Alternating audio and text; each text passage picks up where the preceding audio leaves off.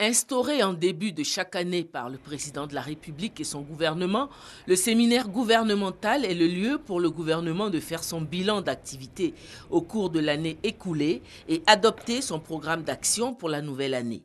Le séminaire gouvernemental de l'année 2015 a réuni ce mardi 24 février l'ensemble du gouvernement. Les travaux démarrés à 8h30 le matin se sont achevés en début de soirée. Le président de la République a pris part à la clôture. Le premier ministre Daniel Cablan-Duncan, qui a conduit les travaux, a exprimé au chef de l'État sa note de satisfaction.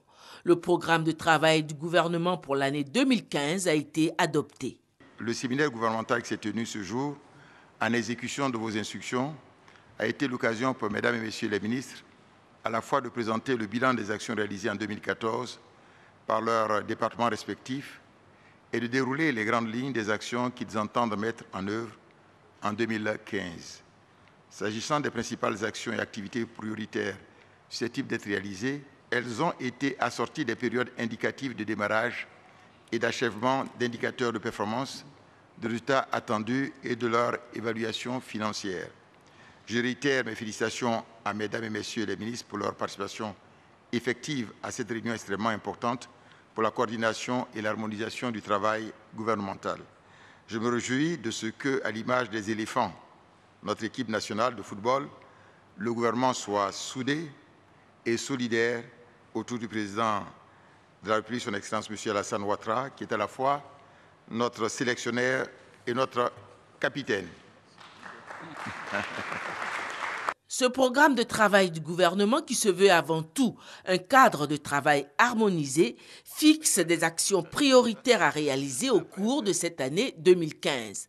Les actions prioritaires qui ont été retenues au titre de l'année 2015 viseront principalement la poursuite du renforcement de la paix, de la sécurité, de la stabilité politique, de la cohésion sociale et du renforcement de la démocratie.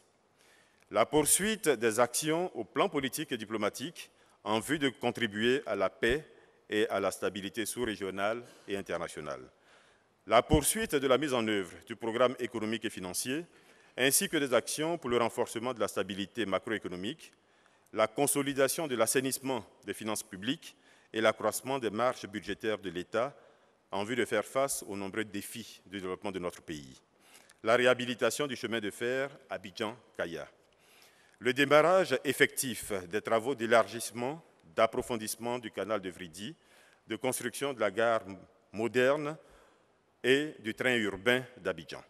Mais c'est en premier lieu le président de la République qui oriente l'action du gouvernement.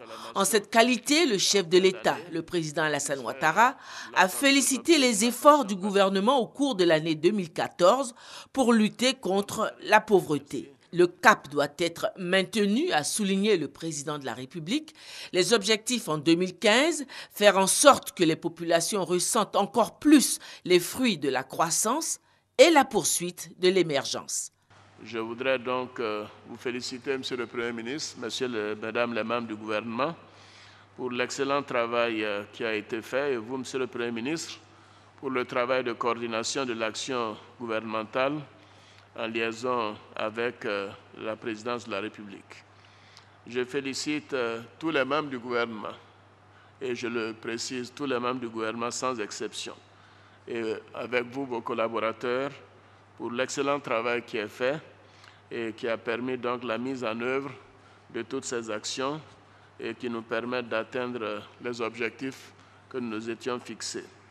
Nous devons poursuivre nos efforts car beaucoup reste encore à faire pour satisfaire pleinement les aspirations les plus légitimes de l'ensemble de nos concitoyens.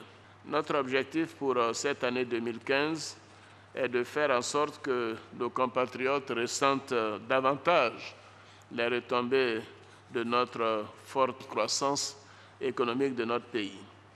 Je sais pouvoir compter sur chacune et chacun de vous, car nous avons encore euh, de nombreux défis à relever pour atteindre l'objectif de l'émergence à l'horizon 2020.